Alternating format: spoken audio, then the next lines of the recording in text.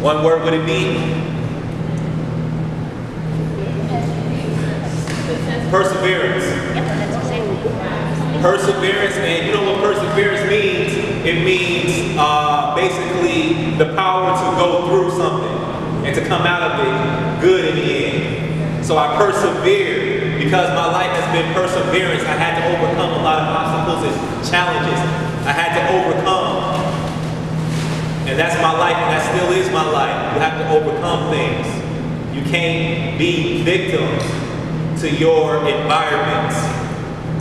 So you have to persevere. You have to overcome. You have to go through. Because a lot of times, majority of people don't overcome. But it's possible if you have the right knowledge and you have the right work ethic and you have the right willpower.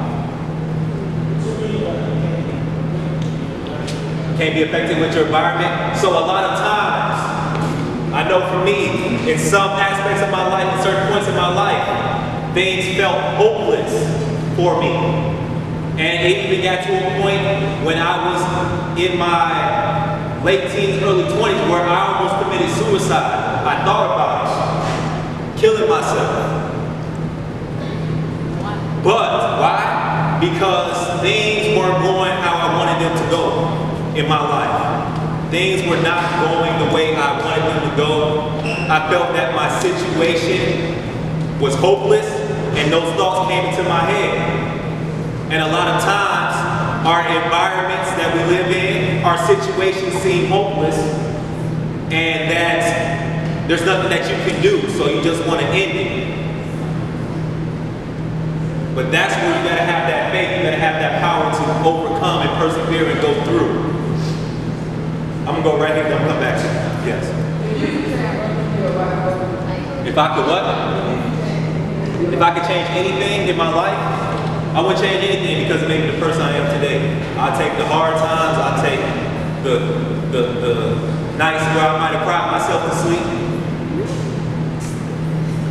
Might took the empty stomach a day or two that I had in my life. Because it all made me to be appreciative of the things that I have now. Yes. Oh, also, you said you want to kill. Do it have something special?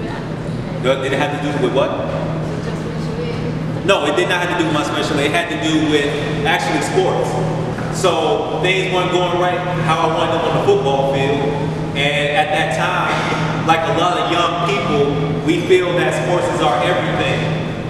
Like your life. And like it was my life. It was my life. That's all I ever, that's what I, actually it was, to be honest with you, because of some of the things I liked in my childhood, the positive affirmations, the love, that affection that I needed.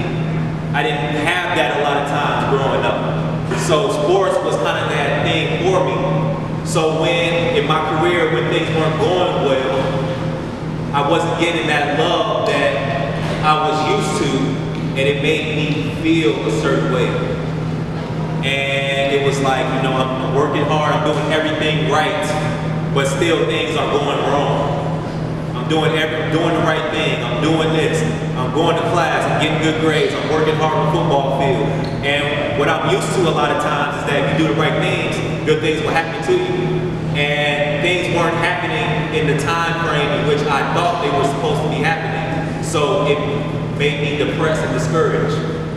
But I got through that, and I did take my life that night, and things got better. So I had to persevere, and I went through it, and I came back stronger in the end. Right here in this sweater, and I'll get back to you.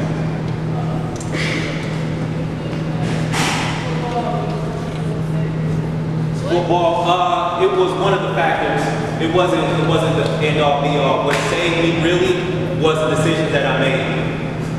The decisions that I made to do the right things, to get good grades. Because it's all a decision. Everybody has the capability to be successful in school, to be successful in life. It's just if you're gonna make the decision to do that, and you're gonna put the work in to do that. That's all it is. It's all a decision.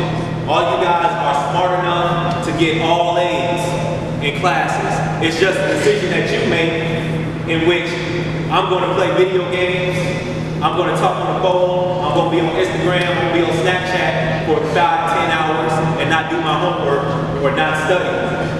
Because you all have to make the capabilities. It's the decisions that you make that determine how successful you're going to be. Yes, right here, then right here. I'll get back to it. How easy is your life now? How easy is my life now? It's harder now than it was then. You know why it's harder? Because every day I hear people like you guys getting shot and getting killed every day. And my mission in life and my goal and my purpose for being is to reach young people and help them to discover their full potential and all that they're capable of being. And I use my life as an example of that. So when I see people, young men my age, who made a decision or who was at the wrong place at the wrong time, a little part of me dies because that could have been me 10, 15 years ago. And my goal is to make sure that never happens again. So it's harder now. I have more of a burden because when I was younger, all I thought uh, was about me. All I thought was me, me, me, me, and me. Now it's about y'all. And if I can't save y'all, I can't reach y'all, or if I fail, that hurts me. So it's harder now than it was then. So we got time for one more. One more, I said I'll get to that. Yeah.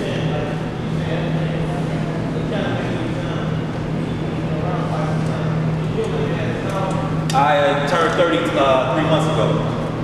30 years old. Yeah. I hope that's not old. It's 30 old. I guess we got one more. Okay,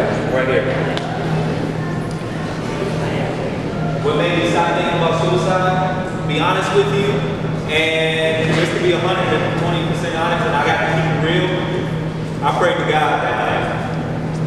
And I was like, God, if you really real, I need to know right now, because I don't know if I'm going to make it to tomorrow. And that night, I felt the presence of God come into my room and hug me like was hugging a newborn baby. I had peaceful sleep I've had in my life. And that's when I gave my life to God. Truly gave my life to God. I was always in the church, but truly gave my life to God that night. That's. All right, Walter, we want to thank you so much for coming out.